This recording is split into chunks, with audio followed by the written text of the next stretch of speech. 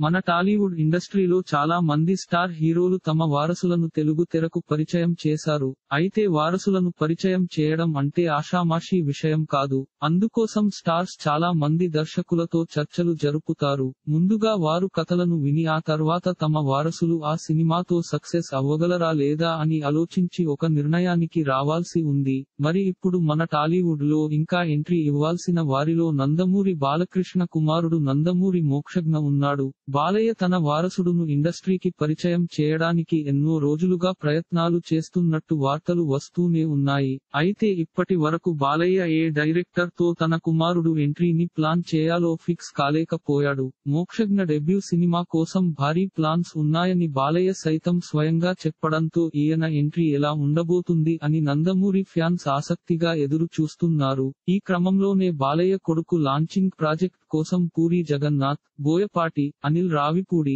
క్రిష్ జాగర్లమూడి అంటూ చాలా మంది డైరెక్టర్ల పేర్లు వినిపించాయి. అయితే ఇప్పటి వరకు ఏది నిజం కాలేదు. తాజాగా మరో యంగ్ డైరెక్టర్ పేరు తెర మీదకు వచ్చింది. యంగ్ డైరెక్టర్ రాహుల్ సాంక్రిట్యన్ దర్శకత్వంలో మోక్షజ్ఞ ఎంట్రీ ఉండబోతుంది అంటూ తాజాగా వినిపిస్తున్న టాక్. ఈ యంగ్ డైరెక్టర్ ఒక కథ కూడా రాసుకుని మోక్షజ్ఞకు కూడా వినిపించినట్టు సమాచారం. ఇటీవలే మోక్షజ్ఞ పుట్టిన రోజు టర్కీలో బాలయ్య మూవీ సెట్లో జరుగగా అక్కడికి కూడా ఈ యంగ్ డైరెక్టర్ వెళ్ళి బాలయ్యకు కథ వినిపించాడని ఈ ప్రాజెక్ట్ దాదాపు ఓకే అయినట్టే అని ఇప్పుడు సోషల్ మీడియాలో జోరుగా ప్రచారం జరుగుతుంది. ఇటీవలే రాహుల్ సాంక్రిట్యన్ శ్యామ్ సింగరాయ్ సినిమాతో ప్రేక్షకులను మెప్పించిన విషయం తెలిసిందే. ఇక ఇప్పుడు మోక్షజ్ఞను లాంచ్ చేయబోతున్నాడు అంటూ వస్తున్న వార్తల్లో నిజం ఎంత ఉందో తెలియాలంటే మరికొద్ది రోజులు ఆగాల్సిందే. ఇలాంటి మరిన్ని తెలుగు వార్త విశేషాలు కోసం ఛానల్కి సబ్స్క్రైబ్ చేసి గంట నొక్కడం మర్చిపోకండి.